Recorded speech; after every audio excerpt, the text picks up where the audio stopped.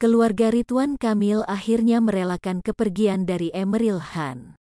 Karena keluarga Ridwan Kamil yakin bahwa Emeril Han diberikan tempat yang terbaik oleh Tuhan. Di samping itu masyarakat banyak yang ikut mendoakan kepergian Emeril Han.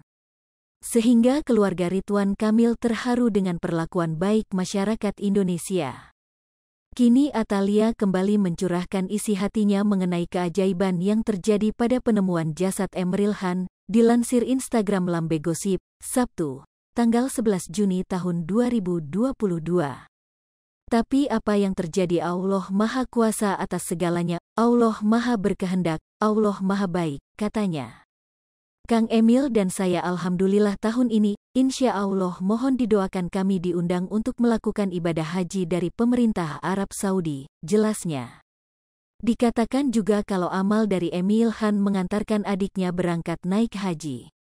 Dan ternyata amal jariah Emeril mengantarkan adiknya berangkat naik haji, ujarnya. Ia tidak menyangka anak 17 tahun naik haji. Anak usia 17 tahun gak sepeser pun dia mengeluarkan uang, dan tidak pernah berpikir untuk menjadi hajah di umur sangat kecil, katanya. Mungkin karena amal jariah dari kakaknya, yang bisa saya lakukan hanya sujud syukur, jawabnya. Komentar beragam pun menghampiri Instagram Lambe Gosip. Dan sebenarnya kalau boleh memilih pasti ibu bapak dan adiknya pengen naik haji juga bareng bersama A. Eril, tulis Instagram Marcele Devinta. Masya Allah, tulis Instagram Yani, 91. Masya Allah, tulis Instagram Rahmayani 313.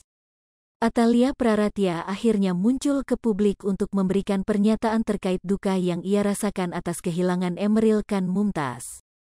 Sebelumnya diketahui jika Atalia Praratia sempat bungkam selama hilangnya Eril di Sungai Are pada Kamis, tanggal 26 Mei tahun 2022 silam. Namun kini, setelah jenazah Emeril dikabarkan telah ditemukan, Atalia yang menggelar pengajian di Gedung Negara Pakuan Bandung, akhirnya mengutarakan isi hati kesedihannya. Dilansir dari akun Instagram @lambegosip mengunggah momen saat Atalia dengan tegar mencurahkan isi hati kesedihannya mengenai kepergian sang putra sulung, Emeril Khan Mumtaz, Jumat, tanggal 10 Juni tahun 2022. Dalam kesempatan itu diketahui jika Atalia Praratia mengundang anak yatim, relawan serta para tokoh dan artis untuk mendoakan mendiang Eril. Atalia yang telah ikhlas dan merasa bersyukur atas jasad Emeril yang telah ditemukan akhirnya berbicara untuk pertama kali setelah menahan pilu kesedihan. Tak hanya itu, ibunda dari Eril ini mengungkapkan rasa yang tak ia sangka atas banyaknya doa yang mengalir untuk putra sulungnya.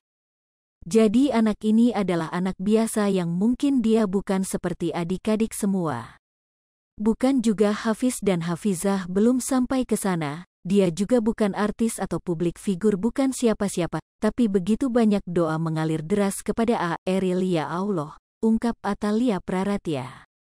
Istri Ridwan Kamil juga meminta para tamu serta masyarakat luas agar dapat mendoakan putranya agar mendapatkan surganya Allah SWT. Doakan Bapak dan Ibu mudah-mudahan Eril berada di janah Allah SWT, mudah-mudahan mati syahid, mudah-mudahan mendapatkan kebahagiaan yang hakiki di samping Allah, seru istri Ridwan Kamil. Atalia juga turut mengaku terdiam tak percaya saat banyak yang mendoakan Eril hingga ke luar negeri. Ia juga mengungkapkan keikhlasannya bersama Ridwan Kamil atas berpulangnya Eril ke Maha Kuasa. Sampai begitu banyak orang yang mendoakan sampai ke luar negeri dan lain-lain. Saya tertegun, saya sebagai bunda tidak ada alasan saya tidak rela, begitu dengan Kang Emil, tuturnya. Maka saya serahkan semuanya pada saat saya merasa dari titik pertama ada sebuah ilham dan juga nasihat begitu bahwa sesungguhnya jiwa itu sudah ada ditentukan kapan akan berakhirnya sejak dari kandungan. Maka dari situ saya mengatakan innalillahi wa innaillahi rojiun, saya serahkan kepada Yang Maha Kuasa, maka saya relakan Eril, ungkap Atalia Praratia. Hai pemirsa Seripopo TV, jangan lupa komen, like, dan subscribe, serta tonton terus berita-berita terupdate lainnya ya.